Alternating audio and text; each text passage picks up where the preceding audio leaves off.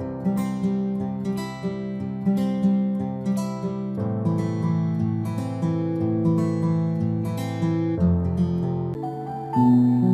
chào tất cả quý vị và các bạn đã quay trở lại với video của mình.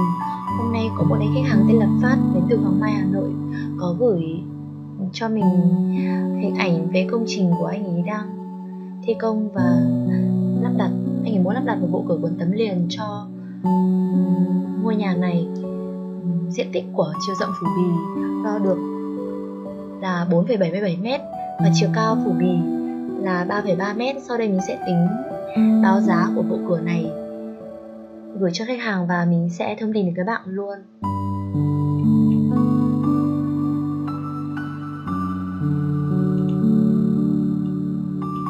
Cửa cuốn tấm liền Vinastador Serie 3 bao gồm hai giá khóa chiều rộng phủ bì chính là 4.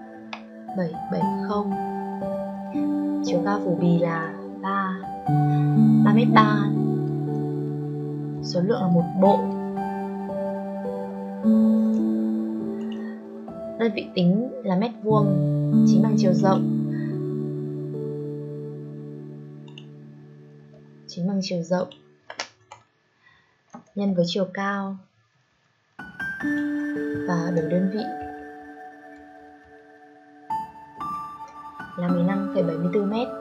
Đơn giá của cửa cuốn tấm liền kéo tay tính đến thời điểm này đối với cái loại ờ, của cuốn series 3 này là 370.000 một mét vuông. Và thành tiền rất đơn giản chính bằng diện tích của cửa nhân với đơn giá.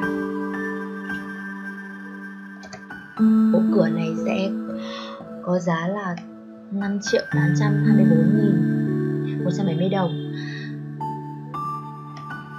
Như vậy là mình đã báo giá xong ừ, cho cái bộ cửa cuốn mà khách hàng vừa gửi hình ảnh cho mình.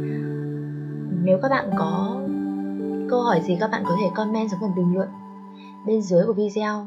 Các bạn muốn tham khảo kỹ hơn về sản phẩm bên mình có thể click vào đường link website mình để bên dưới phần mô tả video hoặc gọi điện thoại đến số hotline 0982 064 269 video này mình xin kết thúc tại đây. Hẹn gặp lại tất cả các bạn ở những video tiếp theo